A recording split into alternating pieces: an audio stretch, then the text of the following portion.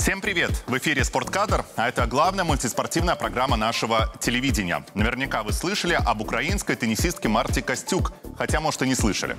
Но суть в том, что эта девушка путается в причинах своего перформанса, который заключается в том, чтобы не пожимать или пожимать руку той или иной соперницы. Так принято после игр. Не раз Марта адресовала странные обвинения в адрес Арины Соболенко, связанные с геополитическим кризисом в регионе. Но вторая ракетка мира, как большая спортсменка, направила все силы в нужное русло и победила без вопросов Костюк в первом раунде. Ролан Гарос в Париже стартовал открытый чемпионат Франции по теннису, он же главный грунт сезона.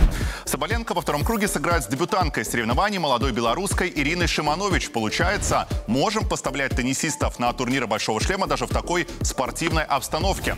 Подобный вопрос также задали главному в белорусском теннисе Сергею Рутенко.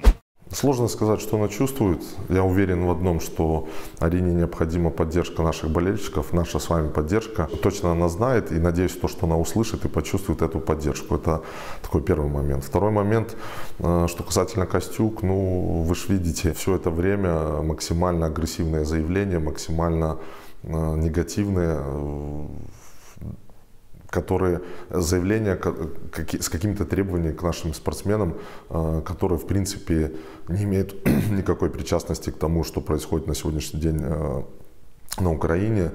И здесь можно было бы отвечать, и в принципе из этого возможно, возникнет какая-то перепалка, на мой взгляд, не стоит обращать внимания. Есть и другие отличные примеры. Э, ребята в паре играют, у нас отличная пара, э, наши спортсмены и украинские, э, которые достойно выступают, выиграли уже пару турниров вместе. С другой стороны, непонятен другой момент. Насколько мне известно, Украина запретила выступать своим спортсменам на соревнованиях, где выступают белорусы и россияне. Мне интересно, какая, почему она вчера вообще играла. Поэтому Поэтому здесь надо идти своей дорогой, э, доказывать свое превосходство э, и показывать э, результаты на спортивном корте, а не или на спортивной площадке, а не в интервью и на, на пресс-конференциях. Мне это уже, вы знаете, иногда напоминает э, единоборство, когда спортсмены перед боем, там, э, как это говорится, трэш-ток, э, когда они друг друга поливают грязью и пытаются максимально спровоцировать для того, чтобы получить какое-то превосходство в ринге. Мне это никогда не нравилось, и, к сожалению, вот поведение Костюк мне напоминает именно вот э, такой момент э, перед тем, как она играет против, э, против наших, против россиян, всегда вот много такой именно какой-то грязи, агрессии, которая абсолютно не должна быть, не должно присутствовать в спорте. Мы об этом говорим постоянно, но где-то кто-то не верит, где-то кто-то говорит, что мы приукрашиваем, но вчера на лицо была ситуация после матча, когда Костюк прошла мимо и не пожала руку Арине, начали трибуну очень сильно обсвистывать. Арина даже в какой-то момент подумала, что это ей, и э, начал общаться с судьей, но потом Костюк, уходя с, с корта, когда должна была поприветствовать публику, она это сделала, и публика в ответ ее только обсвистала.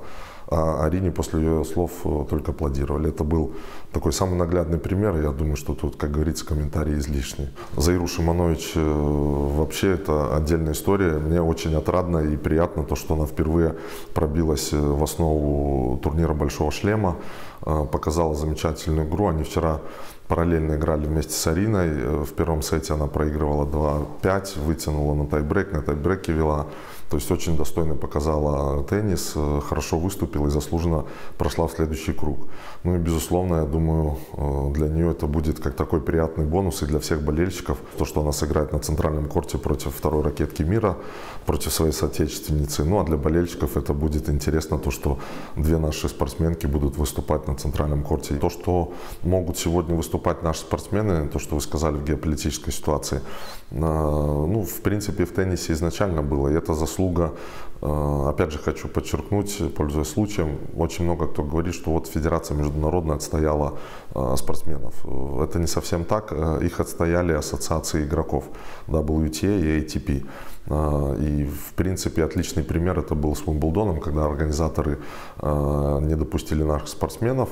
Международная федерация на тот момент никак не среагировала, а вот уже непосредственно ассоциация игроков среагировали максимально и очень жестко, в принципе, поставили вопрос для того, чтобы вообще не повторялась эта ситуация. Поэтому в индивидуальных зачетах наши спортсмены могут выступать на сегодняшний день, ну а мы ведем плотную работу для того, чтобы восстановить наших спортсменов в командных соревнованиях. Более месяца назад прошло заседание э, арбитража международного, и мы сейчас ждем, какое вынесут решение. Э, единственное, что могу подчеркнуть, это то, что с юридической точки зрения мы ничего не нарушили, и наше отстранение было абсолютно незаконно. Э, об этом много говорилось на заседании. В плане, вот если рассматривать чисто юридически, то, безусловно, 100% мы должны были бы иметь шансы на восстановление. Но, как всем известно, тут очень много политики.